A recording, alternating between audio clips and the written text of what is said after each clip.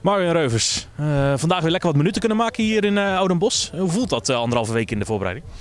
Ja, voelt lekker. we zijn weer aan de gang. anderhalve week bezig nu. net trainingskamp achter de rug.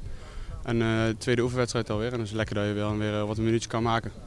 Ja, hoe is die eerste anderhalve week bevallen? Volgens mij veel, veel en pittig getraind. Uh, maar goed, het moet ook lekker zijn om uh, richting, uh, richting fitheid te worden weer. Ja, zeker lekker als je weer aan de gang kan. En het is even, even bikkelen natuurlijk in de voorbereiding. En ja, wat anders dan ik gewend ben natuurlijk. ja, lekker. Lekker om weer bezig te zijn.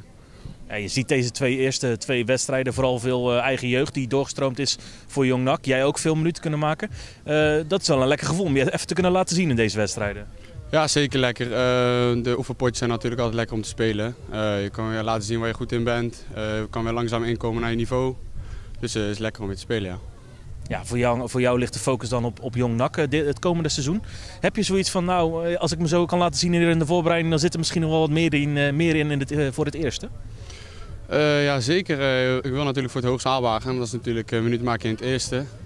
ja, voor nu dan uh, voor Jong NAC uh, mijn minuten gaan maken waarschijnlijk hoe het er nu uitziet. En dan uh, we zien al wel hoe het verder gaat. Zin in? Ja, zeker veel zin in. Zeker.